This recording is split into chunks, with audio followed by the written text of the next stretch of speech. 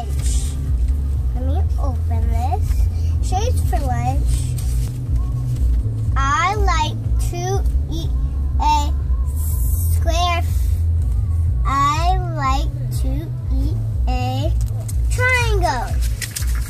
I like to eat an oval.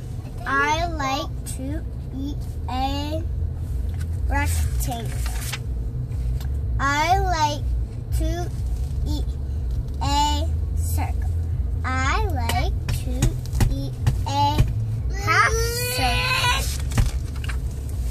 Shapes are fun for lunch. Good job. Yay! Can you read the beginning title?